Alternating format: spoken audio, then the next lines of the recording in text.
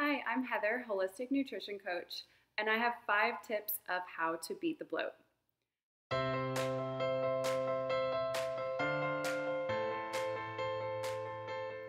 So, after I had Asher, I was always bloated. I hated it. I would wake up in the morning, I was bloated. All throughout the day, I was bloated. And I just thought that this was the new normal. Like, this is what happens after you have a baby. You're always bloated and you have this tummy.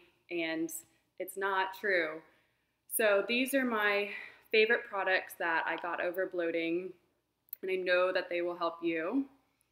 Number one are probiotics. I've gone through a few different brands. This is one that I really like. Show it up close, and it has 50 billion um, CFUs, which is a lot. But this is incredible for gut and digestive health. A lot of us have a lot of bad bacteria um, because of modern lifestyles, and this is a way to get more good bacteria.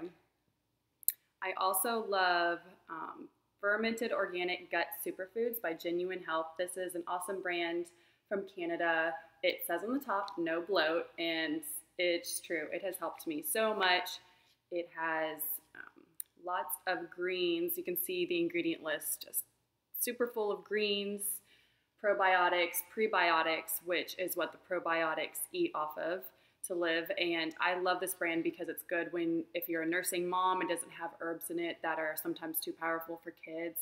I just add a scoop in my smoothies. Asher loves it. Really love this brand. This is one that I sometimes give Asher. He gets probiotics from nursing with me, but sometimes I just like to give him a little extra and it has no flavor, so I just add it in his water and he can't even tell. So somebody just woke up from their nap. Good morning, Asher. So I had to go grab him.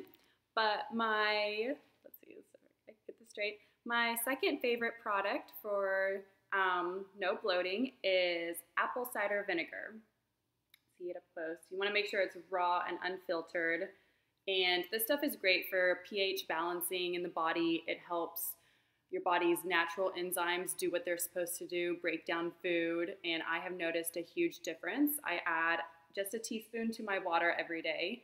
Um, I drink from this Corkcicle. It's 25 ounces of water, so I add a teaspoon in, and I just drink it once, and then the rest of the day I drink clean, um, filtered water, and it has really helped. Just a teaspoon, you can't taste it that much. I know um, sometimes I've tried adding more, and it's disgusting. Do not like it. So add just a little bit. My third favorite products, I'm like adding a couple more in, but that's okay, is um, herbal teas that really help um, the stomach. So this is by Traditional Medicinals. I'm trying to read through the screen. Belly Comfort, Comfort, and it is very soothing. It has peppermint, which is known to really soothe your digestive tract, um, soothe the stomach, especially after eating. I like it sometimes before I go to bed, and it is very helpful. Also, I love doTERRA products. This is doTERRA Digest Zen therapeutic grade um, essential oils. And I, if I'm feeling really bloated or like my stomach's hurting after eating um, too big of a meal or maybe not the right, not the best foods, then I'll add a few drops to my stomach and it is so soothing. I think it has peppermint in it also. Peppermint is really a great essential oil for your stomach and it just it just calms it immediately. I love it. My next favorite product is Vital Proteins Collagen Peptides. Had some food on it. And I add I add this to my smoothies, just a scoop in. You can also add it to just clean water. It has a little bit of a taste, which is why I prefer the smoothie. Um, but what it does is it goes through your digestive tract and it heals it. So with a lot of processed foods, um, when our gut is out of balance, it will actually cause holes in the gut. It's called leaky gut, and the collagen will go in and it will smooth it over and it will heal the gut so that we can we will have less bloating and less digestion issues. So I love collagen.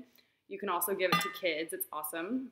And my last tip is water. I know, so simple and basic, but a lot of us just don't drink enough of it.